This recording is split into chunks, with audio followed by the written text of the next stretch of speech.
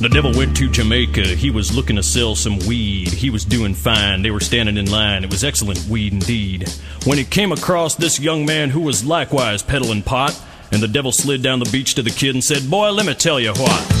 I guess you kinda figured I'm a reefer head, of course. And after all this time, I guess that I'm a connoisseur of sorts. Now, your stuff smells okay, but this could tranquilize a horse. I'll bet a million in cash against your stash, cause I think mine's better than yours. The boy said, My name's Johnny, and you ain't smoked nothing yet.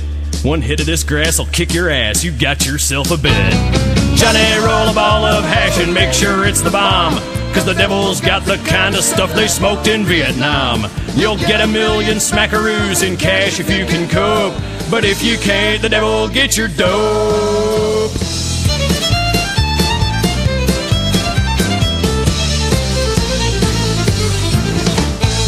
Devil packed a bong with a little Acapulco gold, and resin flew from his fingertips as he fired up his bowl.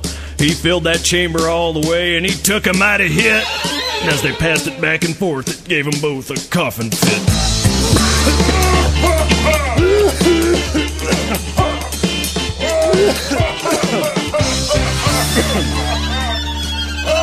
Damn! When the bowl was finished, Johnny said, Hey man, that stuff was great, but fill your lungs with some of this and prepare to vegetate. Cannabis sativa, sweet Mary Jane. The devil's in the backyard frying his brain. Zigzag filled with a diggity dank. Hold on tight, it'll hit you like a tank. The devil nodded off because he knew that he was stoned, and he asked if he could buy an ounce of the stuff that Johnny owned. Johnny said, Devil, just come on back if you ever want to catch a buzz. I done told you once, you son of a bitch, mine's the best there ever was. And they fired up doobies one by one. Ain't it gonna stop till the bag is done.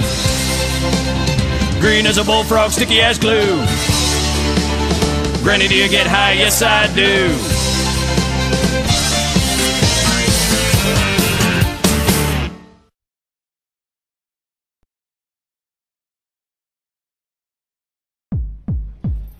Come to negotiate, eh? Have you, you slimy git? Look what I got. I got a jar of dirt. I got a jar of dirt. I got a jar of dirt. And guess what's inside? I got a jar